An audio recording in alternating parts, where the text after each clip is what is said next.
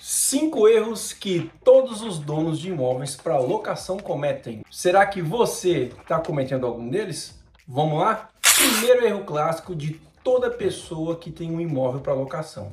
Não consegue precificar corretamente.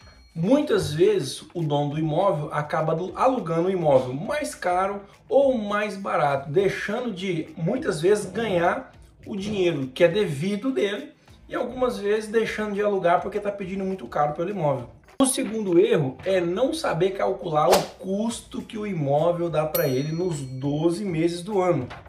Um outro erro clássico é o contrato. Às vezes a pessoa não faz contrato ou quando faz o contrato não consulta um profissional da área e acaba fazendo um contrato que prejudica ele ou até às vezes o inquilino. Agora, um erro muito comum, e esse erro está ligado à falta de conhecimento e um pouco de desespero, talvez, é alugar para o inquilino errado. Mas como assim alugar para o inquilino errado? Às vezes você vai alugar um comércio, um ponto comercial, uma casa que é para um perfil de pessoa. E aí você coloca uma outra pessoa lá que é de outro perfil que vai acabar trazendo problema para você. É um bom inquilino, mas no lugar errado.